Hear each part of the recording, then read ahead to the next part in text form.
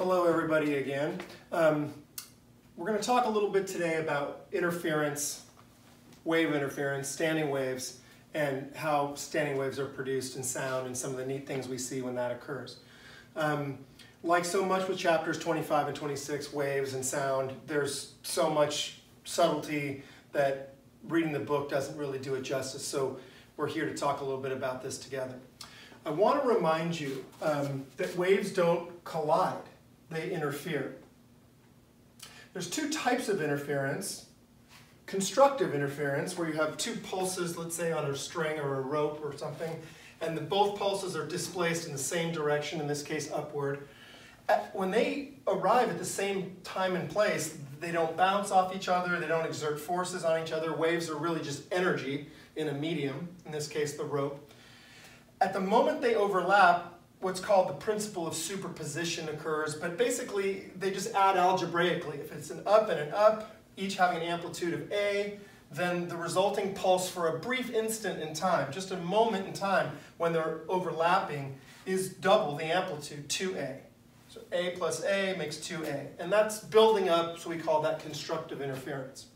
We are simplifying things a little bit, saying that either it's constructive or this other type of interference I'm going to talk about now destructive, but essentially those are the two types of interference. And destructive interference is the opposite of constructive. It takes away, it destroys the wave for a brief instant.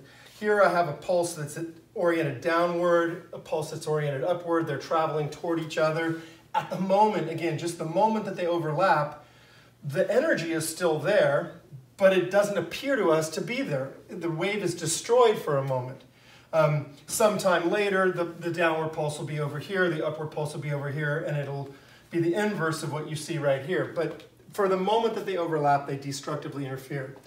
You know, a key point, if we're going to move on between just re recalling what interference is and talking about standing waves, we gotta we gotta emphasize this key point. It, I like to say it takes two to tango. That's an old saying about dancing and how you need a partner. For interference to occur, you have to have two or more wave pulses present at the same time and place. There's no other way for interference. one wave cannot interfere with itself. I'd like to show you something, well, I'd like to show you a standing wave. I have a long helical spring, um, and this is a good uh, way to demonstrate standing waves. So I'm going to send pulses down and try to create a standing wave. Um, a critical piece to understanding this, though, is to learn a little bit about something that happens when the wave undergoes reflection. So when the wave hits the tide, I've tied the other end of the spring to the chair, when it reaches, the wave reaches that boundary between the slinky and the chair, some of the energy goes into the chair, but most of it is reflected. Waves tend to reflect when there's a difference in media the chair is very different than the slinky in its in its elastic properties. So it's it's like a, a wall, and and the, most of the wave will reflect. But when it reflects, it does something really neat. It, it inverts. That's the word we use. An up pulse reflects and comes back as a down pulse. A left pulse reflects and comes back as a right pulse. Have a look. one more pulse. And you can see that it, that it reflects in the opposite orientation than it was sent. It has inverted. Now, to make a standing wave, we talked about there have to be at least two waves present. So what I'm going to do is I'm going to continue to send pulse after pulse after pulse. And as those pulses start reflecting and coming back at me, we're going to have pulses that I'm sending pulses that have reflected coming back toward me, and of course these waves can interfere. A standing wave occurs when that frequency that I'm sending pulses, which is obviously, well, which is the same frequency they're coming back, right? If I send two shakes per second, two shakes per second are going to come back toward me after reflection. At certain frequencies, given the length of the, the spring and how stiff it is, certain frequencies produce a standing wave. And a standing wave is a place, is a wave where there are locations where constructive interference is always happening and places where destructive interference is always happening. The destructive interference leads to things we call nodes, N-O-D-E-S. And the places where constructive interference is occurring lead to things we call antinodes. Let's have a look. So at first you can't see a standing wave because it takes a moment for the reflected waves to come back and that's the only time that interference can occur and a standing wave can be set up.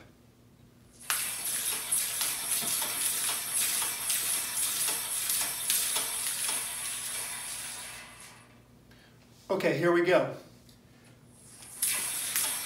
Now, I chose a particular frequency that has led to a standing wave that has a node right between me and the chair. You see that place in the middle that's not really moving. It's right about here. Let me put a piece of tape down.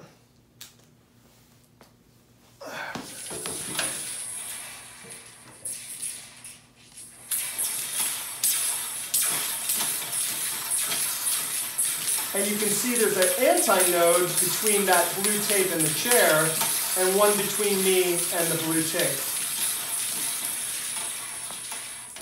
Now, that's not actually what's called the fundamental frequency. Um, I don't want to dwell too much on, on fundamental frequency and what, what are called harmonics, but, and those of you that know music know that, that that's a term we use in, um, in music as well. But let's just look at the fundamental frequency.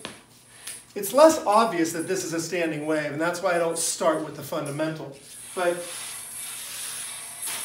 that is the fundamental frequency, where there's a node at the end where the chair is, a node, my hand is a node, although I'm moving my hand to keep the wave going.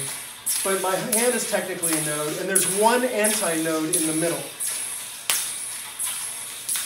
Now let's see if we can get a feeling for the rhythm. One, two, three, four. And the reason I did that, one, two, three, four, is because that other standing wave that I showed you first is exactly double the frequency of the fundamental. Have a look. We had one, two, or rather one, two, three, four. Now, one and two and one and three, one, two, three, four, five, six, seven. And I can actually, if I can shake faster, create standing waves with even more nodes.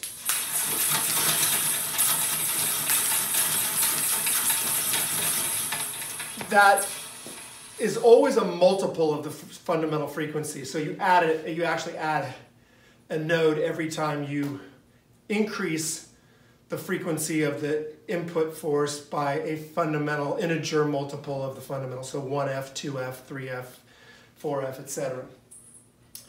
The video that we're going to link with this assignment um, is, a, is a teacher um, in his classroom doing this on a, on a wave generating machine, which is a little bit easier to control and perhaps will make it more uh, clear to you that what's going on. But he doesn't emphasize this point that in order for these standing waves to occur, you have to have two waves traveling in opposite directions, the ones you're sending and the ones that are reflecting. Now in sound, standing waves are kind of kind of interesting. Perhaps you've never had the desire to do this. Um, many of you have done it before. By blowing your breath over the opening of the bottle, vibrations can be set up in the air you're blowing as it oscillates over the opening. And it, tur it turns out there's many different frequencies of vibrations, but the one you hear, the only one you hear, is the one that constructively interferes at the location of the opening and produces a standing wave.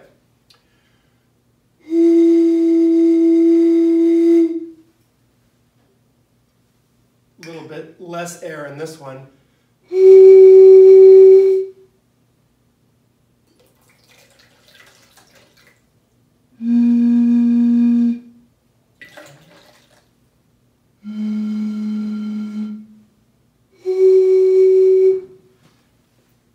Now I can only produce one resonant, it turns out this is an example of resonance. Our last discussion um, was about resonance. Um, resonance occurs when a stand, standing wave is set up in a, in a material and you hear the, the, the frequency that is resonant. Um, now, the length of the air column is fixed unless I pour water out, in which case you hear a different resonant frequency produced by a different standing wave whose frequency is different.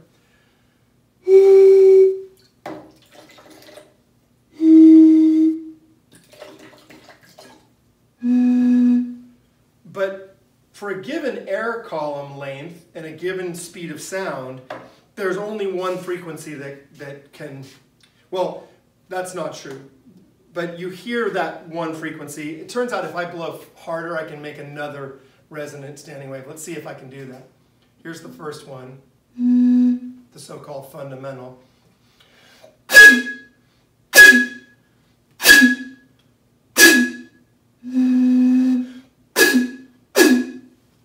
You can hear that there's a, another resonant frequency, and of course there are more. Um, I probably can't blow air fast enough to, to create that other resonant frequency. But let's, let's talk about a, a common instrument. Um, this is a, a cornet. It looks a lot like a trumpet. They're almost the same instrument.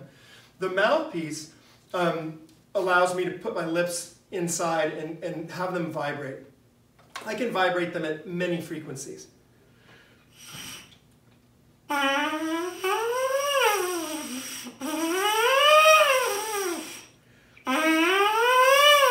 It's continuous. There's not discrete steps or individual notes. It's like a slide whistle. I can do almost any frequency. But when I connect it to the horn, the horn is a particular length. Um, and only certain frequencies will create a standing wave that constructively interferes with the vibration of my lips. To save your ears, I'm just going to put a little mute in here. Um, but let's, let's hear. Now I'm going to squeeze harder with my lips and try to do that that I was doing with just the mouthpiece.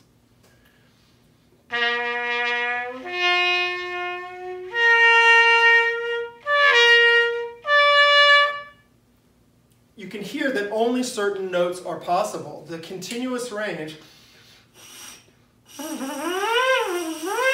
is not possible connected to the longer horn. It only resonates at certain frequencies. Now, of course, if those are the only notes I could play, then it wouldn't be a cornet or a trumpet, it would be a bugle. And bugles don't have any keys, and so they can only play certain songs, like taps. Um, the start of a horse race that has a, has a particular uh, song that's a bugle call. Um, I don't know that one, but you know, taps.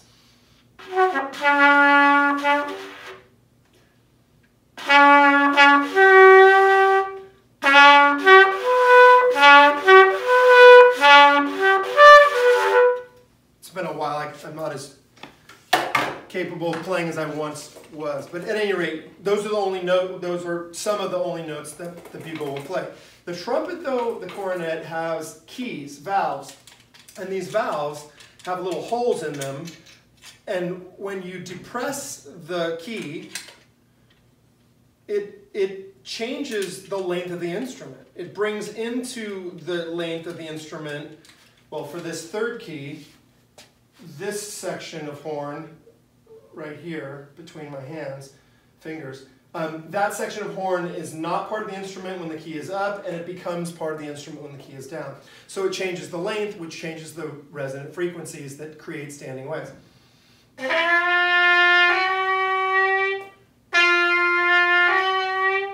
And because of the three keys and the three different length configurations, we can play far more notes than a bugle.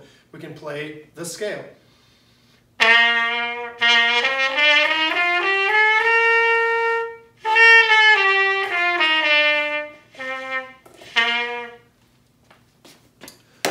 So, standing waves and sound. I've just talked about them. We saw a standing wave in the, in the long slinky, but you can't really see sound waves. So how, how are they interfering? What's going on really with this?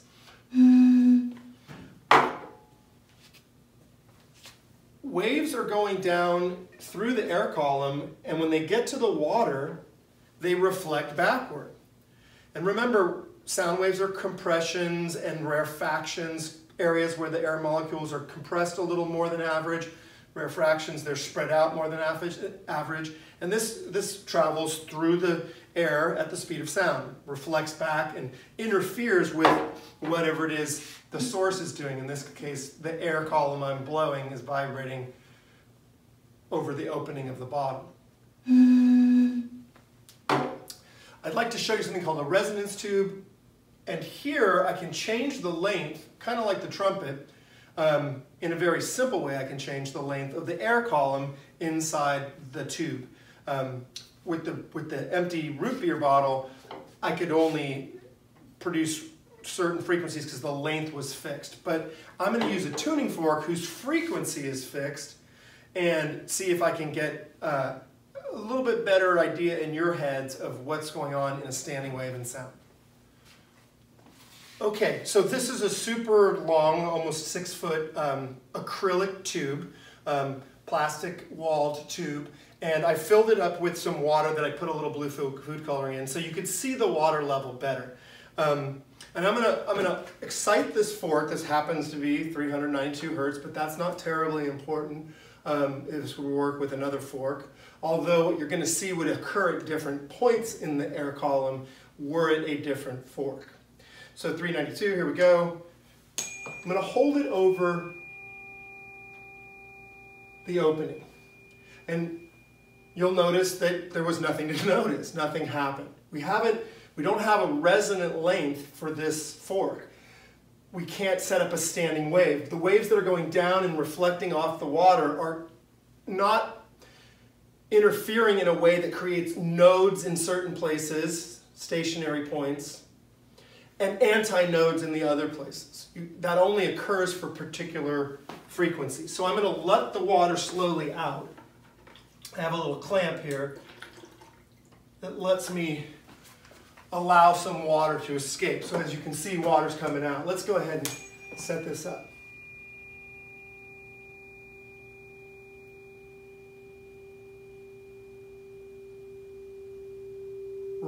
Right, right there. Let me mark that point. Um, right here.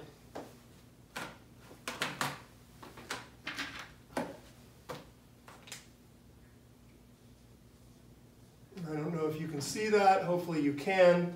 Um, I'm going to close off the tube and put the water back in.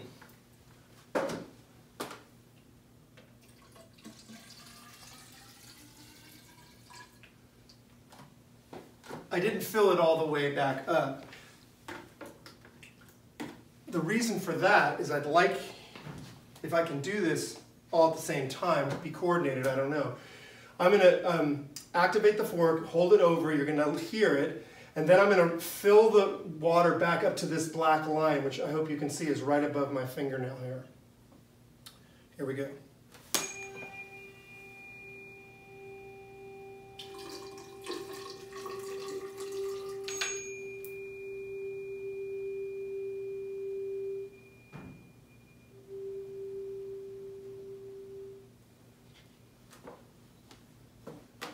That is the resonant frequency.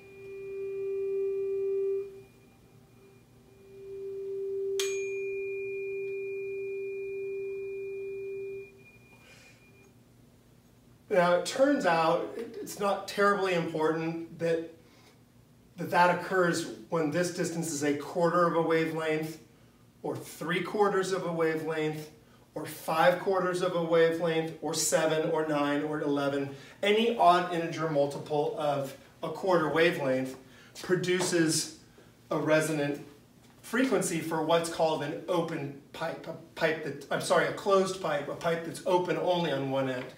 Uh, the, the math is a little different for a pipe that's open at both ends, but I'm going to go ahead and open up the, um, the water nozzle a little bit. I'm letting water out slowly. Um, and I want it if this is a quarter and then it happens again at three quarters, it's probably going to happen one, two, somewhere around here. Let's see.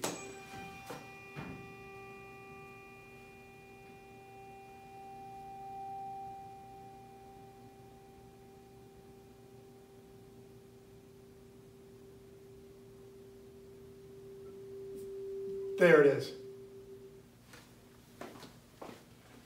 It was right about here. Let's see if we can catch that one more time.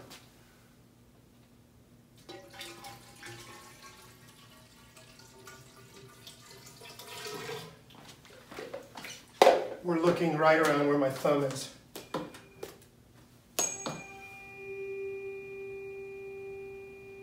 Oh, I just missed it.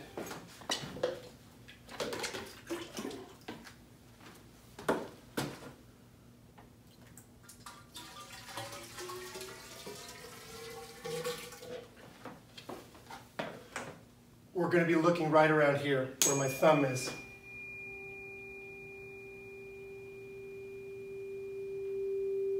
There it was. So that's a standing sound wave. Again, something you can't see readily because sound waves are invisible, but um, a phenomenon you were certainly able to hear. Um, I think that's it for now. Um, thanks again, and we'll, we'll see you next time.